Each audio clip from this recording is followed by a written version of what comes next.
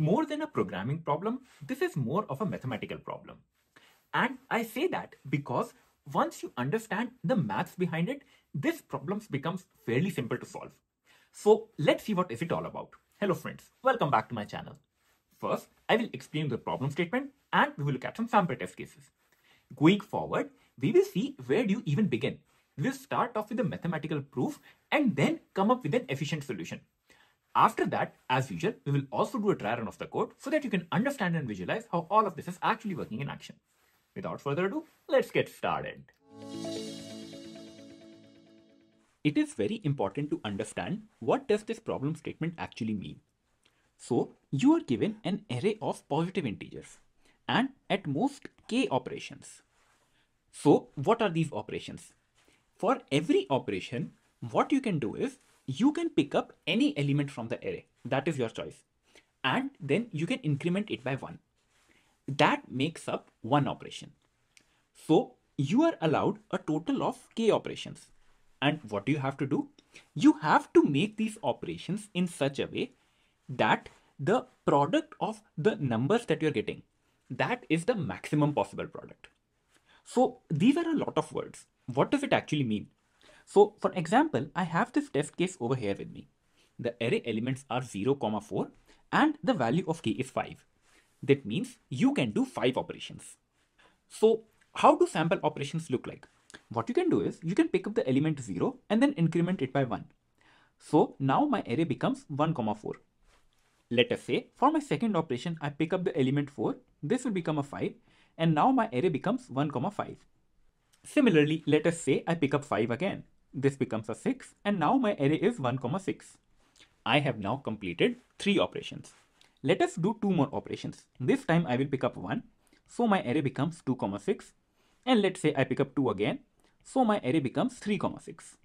So I did 5 operations. And what is the product of elements that I'm getting?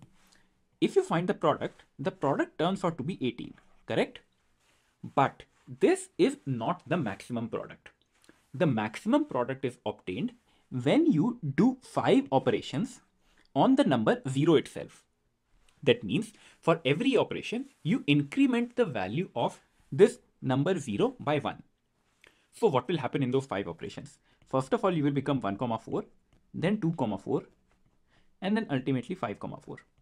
And now if you find out the product, the product turns out to be 20. And in fact, 20 is the maximum product possible. You can see that there can be so many ways you can perform these k operations.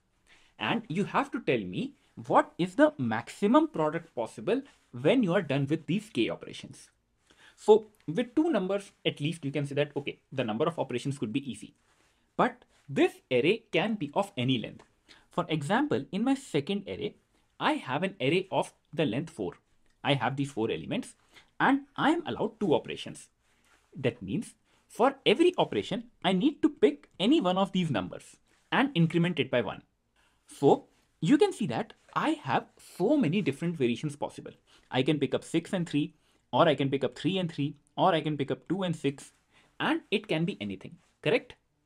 For this particular test case, you will find the maximum product when you apply two operations. First of all, on the integer 2, then your array becomes 6, 3, 3 and then a 3. And then once again you apply the operation on the number 3. Then you get 6, 4, 3 and then a 3. Notice that even if you have multiple digits of the same element, then whenever you are applying an operation, you have to increment only one of those digits, not all of them. So after applying these two particular operations, you will now obtain your maximum product and the maximum product in this scenario will come out to be 216. No matter what other combination do you try, let us say you try 6 and 2 or let us say you try 3 and 3.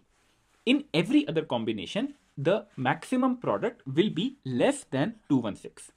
So for this particular test case, 216 is the answer. Now, if you feel that this problem statement is even clear to you, feel free to first try it out. There is also one more thing that you need to take care about. Since this product can get very huge and it can get out of the bounds of the integer limit. So what you need to do is after multiplying all of the numbers, you need to modulo it by 10 to the power of 9 plus 7. this is not just a random number. It is a very important number that you will see a lot while your coding journey. And someday we are going to talk more about it. But for now, let us dive into the solution. To come up with a solution, let us take up a sample test case. You can see that I have an array and this has five elements. I am allowed four operations. Now, it must be already clear to you that these four operations can have so many different combinations. You can apply all four operations just on a single element or you can apply all these four operations on different elements. You can also distribute them. You can apply three operations on six and one operation on four, right? So basically coming up with a brute force solution is very tricky. You cannot think about all the different possibilities and then arrive at a conclusive answer that yes, this is the maximum sum possible. So certainly we need to find out some definitive way. And that is where mathematics will help us. We know for a fact that at every instance, we can only increment a number just by one, right? That is the only choice we have. So for a moment, forget about the problem altogether. Let us say that I have two integers possible and we will try to decide that, hey, where should I increment a 1 such that my product is larger. So in the current scenario, when I have two numbers x and y, let us assume that x is greater than y, correct? And now the product of these two numbers will be xy, right? When you are doing an operation, either you will increment x or you will increment y. These are the only two choices available at every scenario, correct? So if I am incrementing x, what does my array become? My array becomes x plus 1 and then a y. And if you find out the product, what do you get? You will get xy plus y, right? And now let us compare the different scenario. This time we are incrementing y. So what do you get? The array now becomes x and then y plus 1. When you take out the product, what do you get? The product this time is xy plus x. And if you try to compare both of them, xy is common in both of them. So this will not affect the product. The only different factor is y and x. And if you notice, x is greater than y. So in fact, this product, this will be larger than when you had incremented x. So try to think. Intuitively, it comes to your mind that, okay, when I have this array, then if I want a maximum product, then I should increase my larger number first, correct? But in fact, the reverse is true. If you are incrementing the smaller number, then you are getting a larger product. Let me make this clear to you with an example. Let us say I have an array like this 2 comma 7 and I'm only allowed one operation. The current product is 14, right? And it may feel that after doing one operation, if I increment the larger number, then my product should increase more, right? So if I increment 7, that means I get 2 comma 8. That changes my product to 16. However, the truth is that if you increment the smaller number, that means 3 comma 7, then your product changes to 21. So we can say that at any given instance, if I am choosing the minimum number possible, and incrementing it by 1 that will tend to give me the maximum product possible right? So in our problem let us say this was my sample array correct? And let us say the value of k was just 1 you are allowed one operation. Then what will you have done? You will select whatever is the minimum number amongst these elements and then increment it by 1 so your array will become and this array is gonna give you the maximum possible product amongst every number if you had incremented it by 1. So this was the scenario when k was 1. If k is 2, then what will you do? After you have incremented 1, then once again you will search for a minimum element between them and then increment it by 1. So basically at every iteration you will find out the minimum element and then increment it by 1 to ultimately find the maximum product possible. So based upon this idea, how will the solution of this particular test case look like? I have my test case over here, right? And the value of k is 4. So what do you do? you pick up the smallest number possible in this. The smallest number possible is 2. So for the first step, I will increment 2 and my array becomes 63435. This completes one operation. For the next operation, once again, you have to search for the minimum element. You have two threes available. You can pick any one of them. I pick the first one and then I increment it. As soon as I increment, my array becomes something like this. Once again, repeat the same process. Find out the minimum element. It is 3. So for the next step, I will increment 3 again and my array starts to look like this. In this array, once again repeat the same process. Find the minimum element that is 4. So you can increment any of these 4s and my final array becomes this. If you find out the product of all of these elements, you will get 2400 and that is the maximum product possible. So you can see that just by having a simple proof, I was able to apply the greedy technique on this particular problem. At every instance, I was being greedy.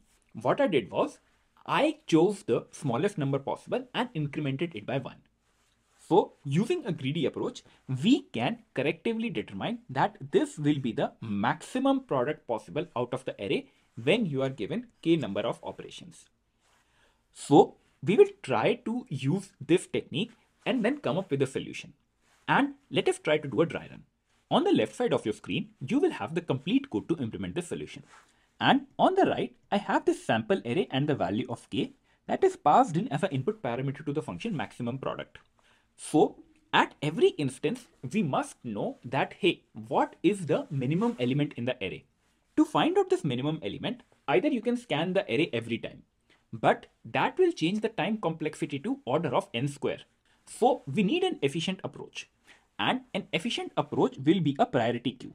So the first step that we do is we create a priority queue and the property of a priority queue is that anytime I will try to pop out an element, I will get the smallest element.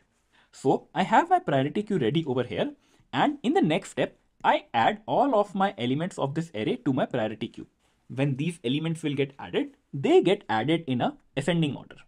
After this, what do you need to do? You need to perform k operations, right?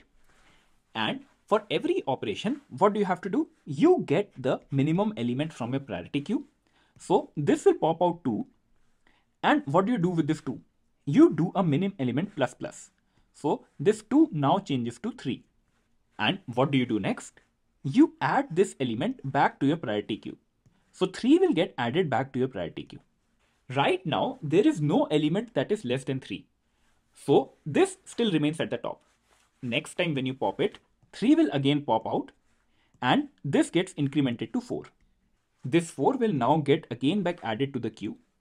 This time when you add this element, this queue will get reshuffled and you will have the smallest element at the top. So this completes two operations, right?